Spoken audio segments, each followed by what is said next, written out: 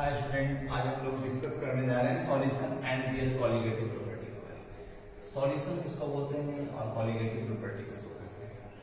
तो सॉल्यूशंस हम लोग बोलेंगे होमोजेनियस मिक्सचर ऑफ़ टू और more than two non reactive compound जैसे आप ये बात को समझे ऐसे सॉल्यूशन का ऐसे डिफिनेशन हम लोग लेते हैं।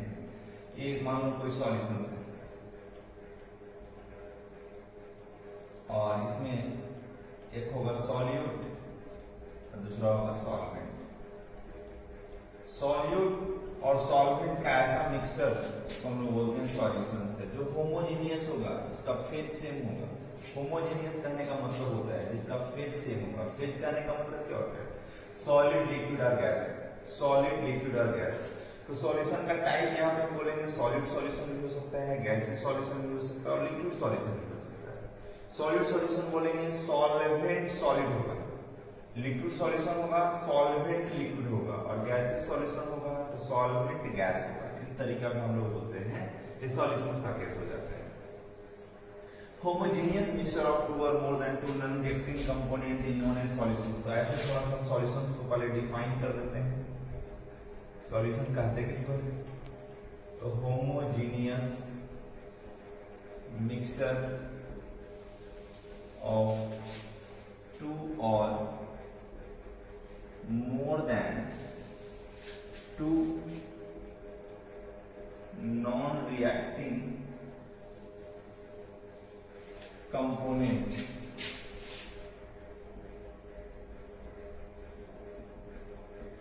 is known as solution इसी को बोलते हैं solution mixture of two or more than two non-reacting component in known as solutions और हम लोग इस सिलेबस में पढ़ना है binary solution binary solution means क्या? Two component solution binary solution binary solution बोलते हैं टू कंपोनेंट कंपोनेंट वन और कंपोनेंट टू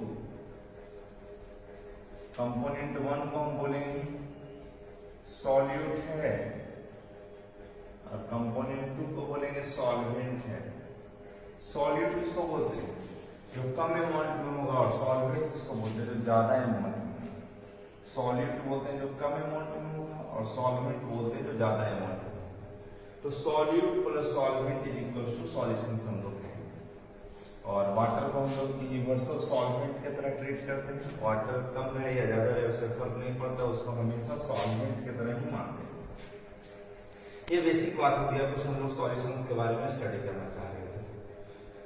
अब बात ये आता है, यहाँ पे एक होता है कॉलिगेटिव प्रॉपर्टी प्रॉपर्टी बोलते हैं। Property of solution which depend upon number of solid particle present in the solutions हम बोलते हैं कि इसका प्रॉपर्टी जो होता है, कुछ चेंज नहीं कर जाता है जो सॉलिड पार्टिकल को number of solid particle present in the solutions हाँ तो property of solution which depend upon number of solid particle present in the solutions उस पर डिपेंड करेगा नंबर ऑफ़ सॉलिड पार्टिकल्स पे डिपेंड करेगा तो उसको हम बोलते हैं कॉलिगेटिव प्रॉपर्टी कॉलिगेटिव प्रॉपर्टी चार टाइप का आपको पढ़ना है, एक को पढ़ना है। Relative lowering in vapour pressure relative lowering in vapour pressure जिसको आरएलवीपी बोल रहे हैं। दूसरा पढ़ना होता है एलिवेशन इन बॉइलिंग पॉइंट तीसरा पढ़ना होता है डिप्रेशन इन फ्रीजिंग पॉइंट और चौथा पढ़ना होता है ऑस्मोटिक प्रेशर ये चार चीज़ आपको यहाँ पे पढ़ना है। आगे हम देखेंगे, अभी सिर्फ़ नाम सुन लीजिए। कॉलिगेटिव प्रॉपर्टी फिर से बोल देते हैं। Number of solute particle present in the solutions और ये चार टाइप का होता है relative in vapour pressure elevation in boiling point depression in freezing point और ऑस्मोटिक प्रेशर ये चार प्रॉपर्टी को हम लोग को देखना है।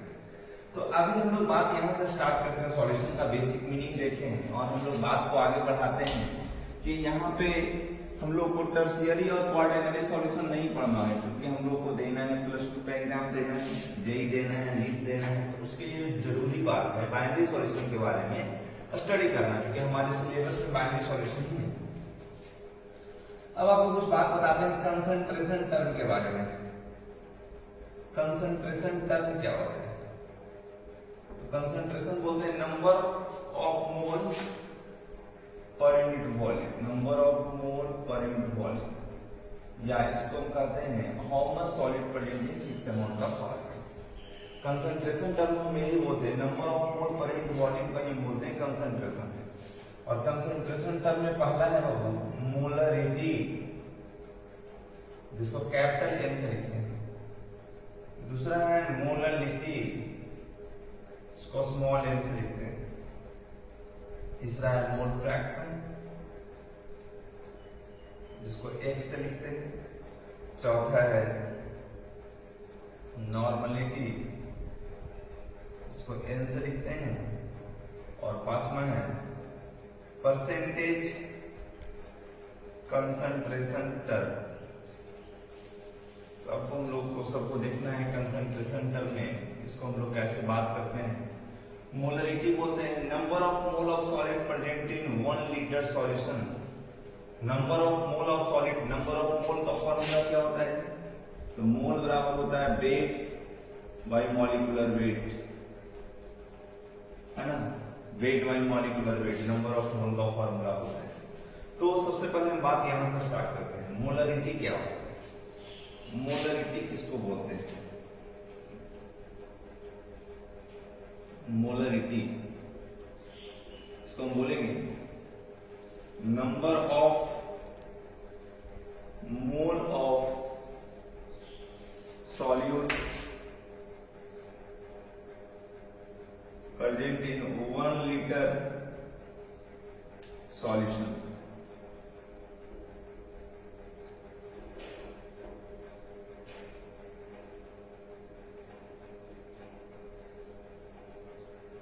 Number of mole of solid present in 1 liter solution is known as molarity.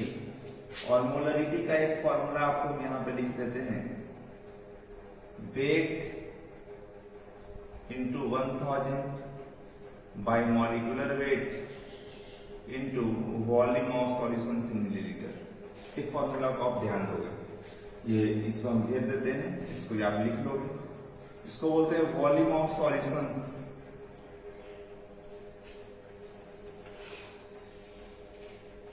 इसको बोलते हैं molecular weight molecular weight of solute इसको बोलते हैं वेट ऑफ़ सॉल्वेंट है ना? Weight of solvent weight of solute number of mole है solute का वेट ऑफ़ सॉल्यूट ये मॉलिकुलर वेट ऑफ़ सॉलिड क्योंकि वेट बाय मॉलिकुलर वेट को नंबर ऑफ़ मोल कहते हैं ना? तो नंबर ऑफ़ मोल निकालने का एक फॉर्मूला तो ये था। दूसरा फॉर्मूला आप यहाँ से लिख सकते हो, इसको वेट बाय मॉलिकुलर वेट को नंबर ऑफ़ मोल ही बोलते हैं। तो नंबर ऑफ़ मोल का फॉर्मूला हो जाएगा M V by one thousand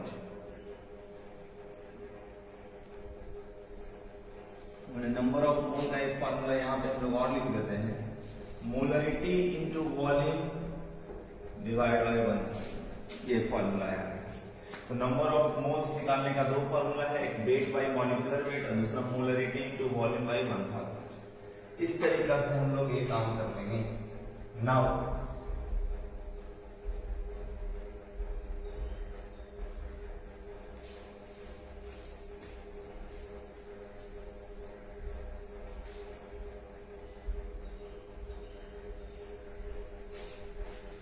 अब इसके बाद आप मोलरिटी ऑफ़ रिजल्टिंग सॉल्यूशंस का बात करते हैं। Molarity of resulting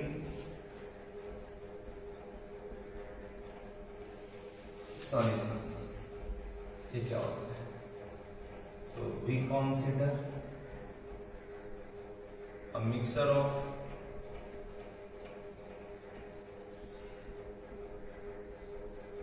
two or more solutions.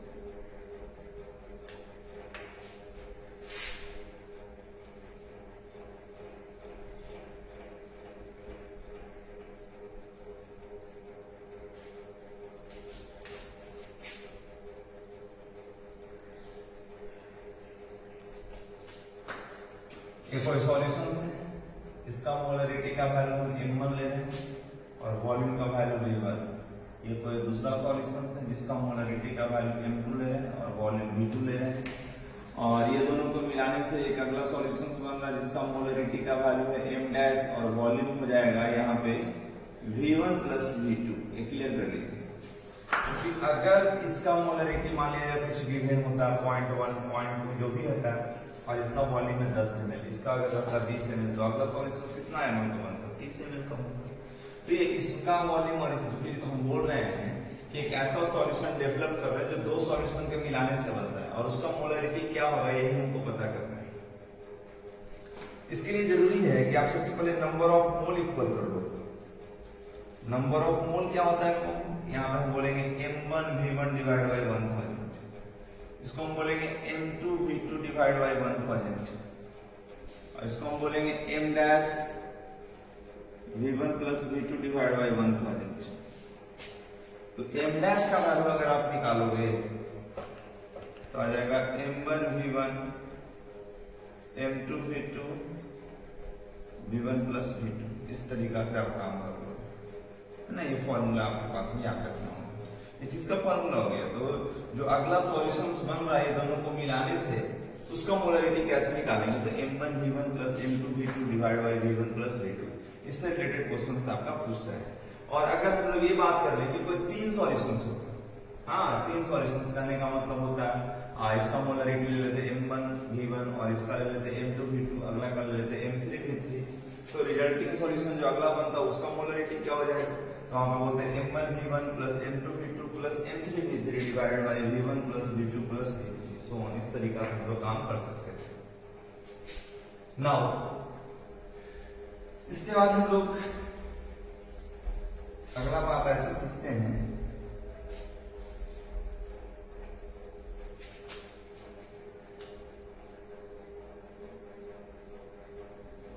Molality, इसका बात करते हैं। मोललिटी क्या होता है? मोलरिटी तो आप समझ चुके हो number of mole of solid present in one litre solution इसको बोलते हैं number of mole of solute present in 1 kg solvent known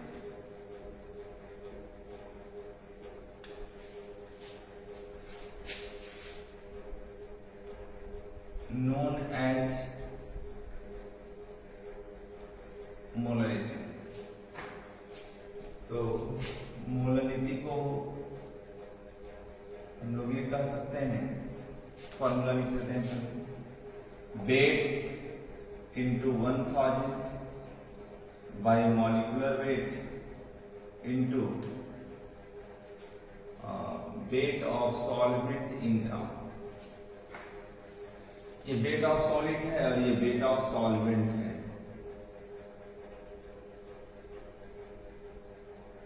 wait of solvent है और ये वेट ऑफ़ सॉलिड है।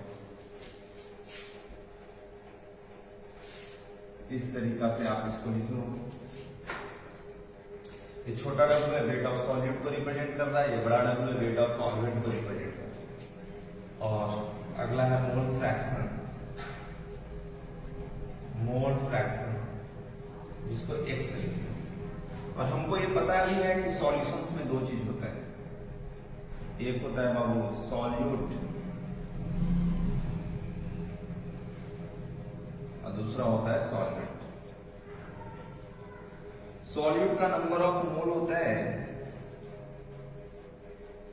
एन वन और सॉल्वेंट का नंबर ऑफ़ मोल मान लेते हैं एन टू तो मोल फ्रैक्शन जिसका निकालना होगा, मान लिया सॉल्यूट का निकालना है, लिख देंगे N1 divide by N one plus N two जिसका निकालना होगा, उसका नंबर ऑफ़ मोल ऊपर में और टोटल नंबर ऑफ़ मोल नीचे में। और अगर हम लोग ये बात कर लें मोल फ्रैक्शन ऑफ़ सॉल्वेंट कैसे निकालेंगे? इसका नंबर ऑफ़ मोल है N2 divide by total number of mole N1 plus N2 क्योंकि हम लोग को पढ़ना है बाइनरी सॉल्यूशन और बाइनरी सॉल्यूशन में दो ही चीज़ होता है। एक होता है सॉलिड दूसरा होता है सॉल्वेंट जिसका नंबर ऑफ़ मोल हम मान लिए N1 है N1 का वैल्यू अगर गिवन होता कि 10 लेना है। N2 का वैल्यू अगर 20 लेना है तो उसके अकॉर्डिंग हम निकाल लेते हैं। यहाँ पे जिसका निकालना होगा, ऐसे समझ लो मोल फ्रैक्शन जिसका निकालना होगा, उसका नंबर ऑफ़ मोल ऊपर में और टोटल नंबर ऑफ़ मोल नीचे में।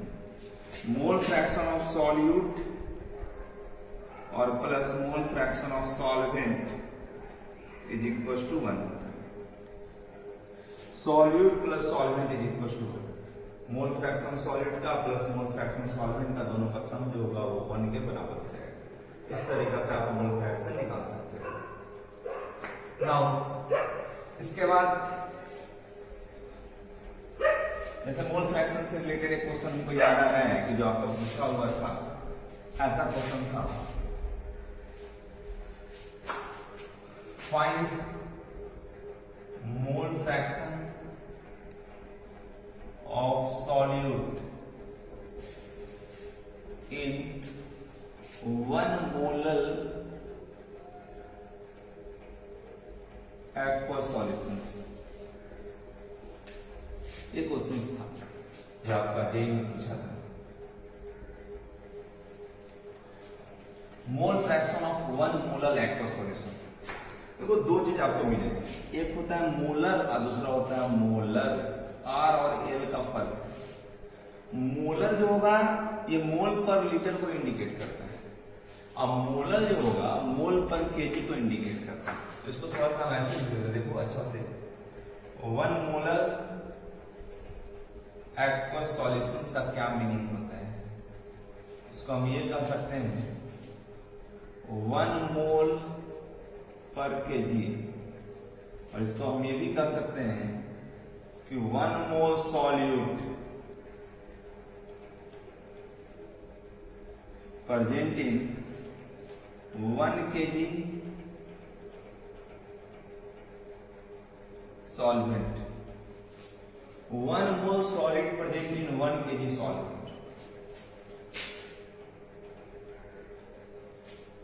एक मोल सॉलिड प्रेजेंट है, एक केजी सॉल्वेंट में इसका मीनिंग हो गया। अब आप सॉल्यूशंस के बारे में आपको पता ही है कि एक होगा सॉल्यूट और दूसरा होगा सॉल्वेंट और सॉल्यूट का मोल आपको गिवन है वन मोल और सॉल्वेंट का मोल तो नहीं गिवन है लेकिन मास गिवन है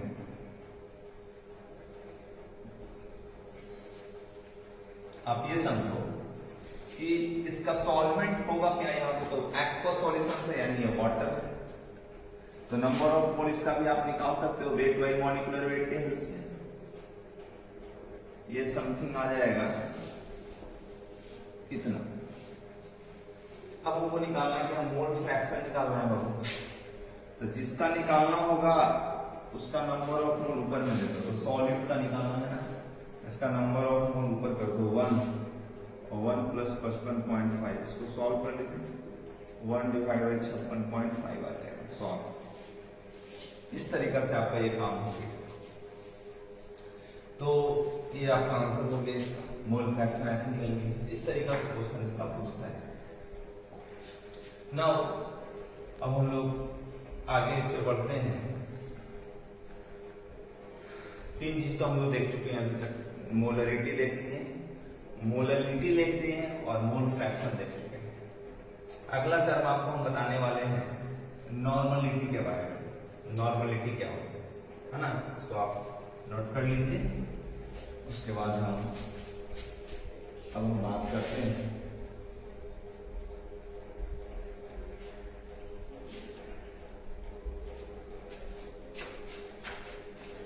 अगला टर्म आपको बताने वाले हैं नॉर्मलिटी का। नॉर्मलिटी को एन से लिखते हैं। तो बोलते क्या? Number of mole of solute present in 1 liter number of mole of solid present in नहीं number of equivalent of solid number of equivalent of solute present in 1 liter solution number of mole तो बोलते हैं molarity के case में तो normality जानना है और नॉर्मलिटी का फॉर्मूला आपको हम लिख देते हैं weight by equivalent weight into 1000 by volume of solutions in equivalent weight क्या होता है?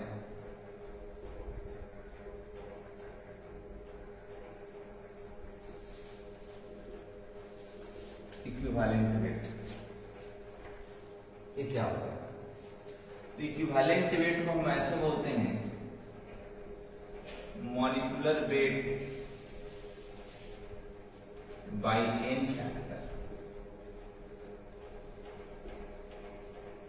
अब ये एन फैक्टर क्या है? एन फैक्टर जैसे कुछ एग्जांपल से आप समझ में आ जाएगा। इक्विवेलेंट वेट ऑफ़ सोडियम इसका लिखेंगे एटॉमिक वेट अब वैलेंसी लिखेंगे। सोडियम का वैलेंसी हो जाएगा one equivalent weight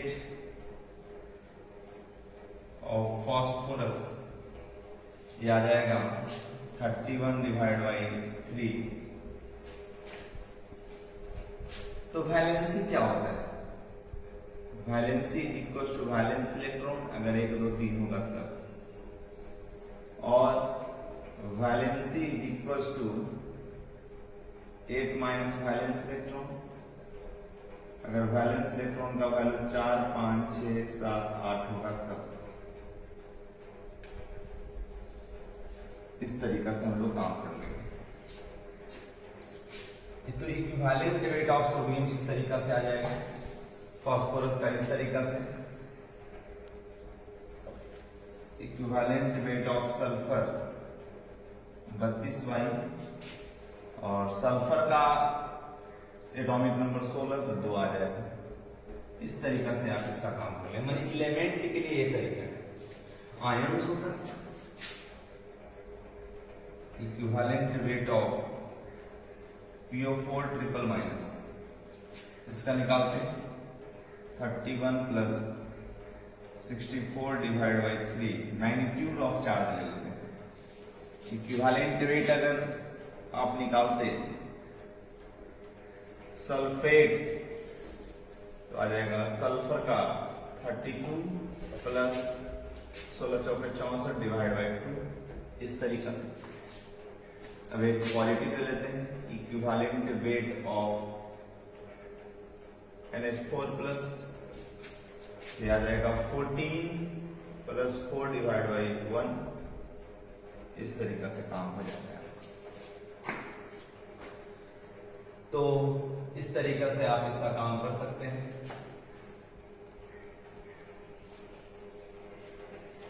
नौ तो ये आपको एन फैक्टर का बात बता रहे थे कि एन फैक्टर अगर एलिमेंट के लिए ये होगा आयंस के लिए हो जाएगा तो ये हो जाएगा, है ना? अब इलेक्ट्रोलाइट के लिए बताते हैं।